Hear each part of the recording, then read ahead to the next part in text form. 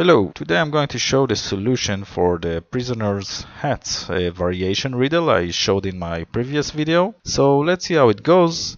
As you may remember, we have 10 people or 10 prisoners who are standing in a line and each one has a hat and the hat has a number and each person can see all the people in front of him but he cannot see his own number or the people uh, behind him and we as a group have to come up with a strategy to make uh, 8 correct answers. So let's see how it goes. We start with 10 people and each person has a number. And let's look at the last guy in the queue. He sees 9 people in front of him. He sees all the numbers and he doesn't see just two numbers. He doesn't see the number on his own hat. In this case it's number 1 and he doesn't see number 7. Number, hat number 7 is not used in this specific example. Now let's assume we did not have the limitation that we can only say a number between 1 to 11. In this case, the riddle would be quite simple because the last guy in the queue would simply say the sum of all the numbers that he sees in front of him. And then once we go to the second guy, in this example, the guy who is wearing hat number 10, the second guy will do the same thing. He will sum all the numbers that he sees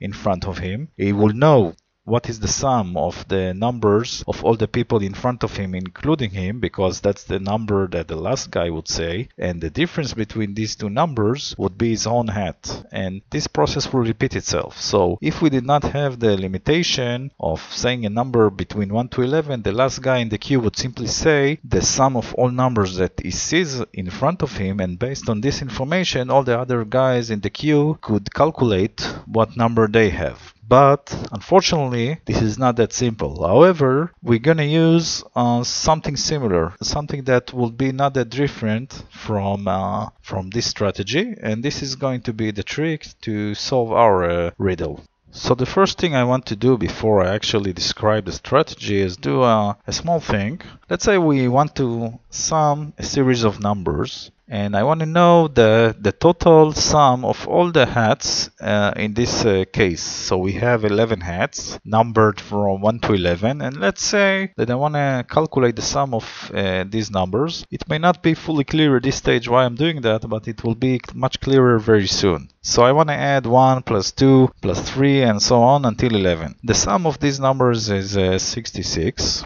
Now if I want to calculate the sum of all numbers that I see in front of me, let's say I'm the last person in the queue, all I need to do is to subtract from 66 the two numbers I don't see. In this case, uh, 1 and 7. So let's start with the algorithm.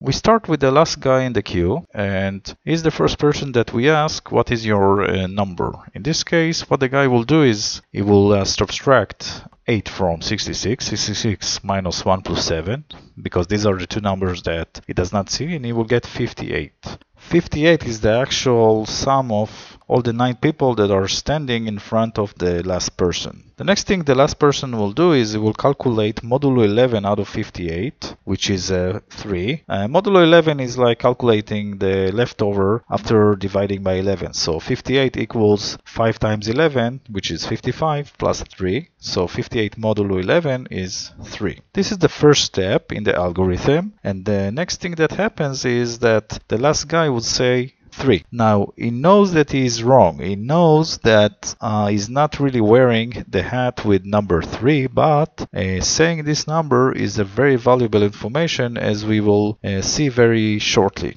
So now the last guy said 3 was wrong, we already have one mistake, but let's see how we progress from here. We move to the next guy, the guy second from the last, and this guy looks ahead of him and he sees uh, eight, uh, eight ads or 80 people, eight numbers, and he can do a what if analysis. What does it mean? He can say, let's say I was the last person in the queue and I was being asked what number I have. So basically we have three options because the second guy from last, he does not see hats number 1, 7 and 10 and he does not know which uh, number he has so he can only make an assumption or make a what if analysis. And he can say to himself, okay, let's say I was wearing hat number 1. What would the last guy see? He would look ahead and he will not see hats number 7 and 10 because uh, I'm wearing hat number 1 so he will not see hats number uh, 7 and 10 in this case he would make this calculation. He will calculate 66 minus 7 plus 10 that's 49 and then he would calculate uh, modulo 11 and he will get 5 and but the guy the last guy in the queue he did not say 5 he said 3 so that means that I cannot be wearing hat number 1. If I had been wearing hat number 1 then the last guy would have said 5 and not 3. So let's uh, let's assume let's do a what if analysis in case I had my hat num was number 7. In this case the last guy in the queue would have not seen numbers 1 and 10 and he would, he would have made the same calculation 66 minus 1 plus 10 it equals 55 55 modulo 11 is actually 0 but Let's say we cannot say the number 0, so he would have said uh, 11. But he did not say that, he said 3. At this stage, the second guy from left already knows he has number 10 because he eliminated the two other options, but he can also make the calculation himself, assuming that he's wearing hat number 10 and then calculating what the last guy would have seen. And that is our strategy and we're going to repeat this process with all the people in the queue and let's just make a quick overview on the next guy. So let's let's look at the guy who's wearing hat number 8. He does not see 4 hats in total. He does not see hats number 1, 7, 10 and 8. However, he already knows that the guy behind him is wearing hat number 10 so he can uh, delete uh, this option and is left with the three options. He's either wearing hat number 1, 7 or 8. And he can do the exact same thing as the guy behind him, make this, the what if analysis. If he would do that, he will get the numbers 7, 2 and uh, 3 for each option as we've seen in the previous example.